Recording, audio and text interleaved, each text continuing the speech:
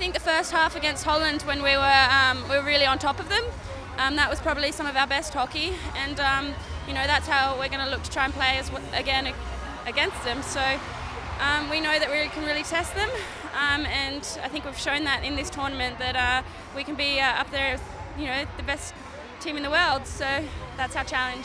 Uh, we have to make every goal of every chance we have, and we have to turn it into a goal. So um, we have to be sharper in uh, in the finals. You know, Holland, we're going to have to, I think, step up again to play them. Um, but we're just, yeah, we're really excited to be in the final and. Uh, hopefully, you know, can give Holland a run for their money. Well, we had a tough game against them uh, in the pool, uh, and um, I think it's going to be a really tough game. Think um, they are really good in defense uh, and uh, really good at countering.